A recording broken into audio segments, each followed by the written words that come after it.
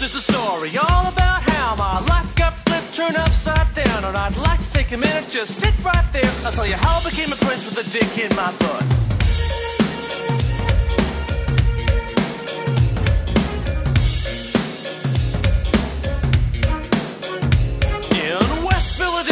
Born and raised on a playground is where I put dicks in my butt.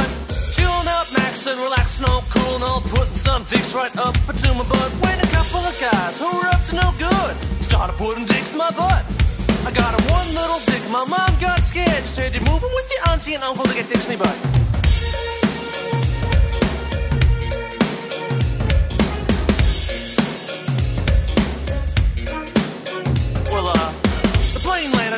Came out, there was a dude like a cop standing there with his dick out. I ain't trying to get arrested yet, I just got here. I sprang with my thickness and jumped at his rear. I whistled for a cab, and when it came near, the license plate said butts and there were dicks in the mirror.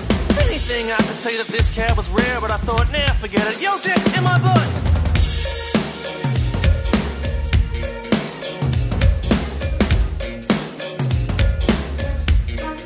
I pulled up to the house about seven or eight, and I yelled to the cab, "Yo, home, stick me later." Looked to my kingdom, I was finally there, sitting my throne with a dick in my butt.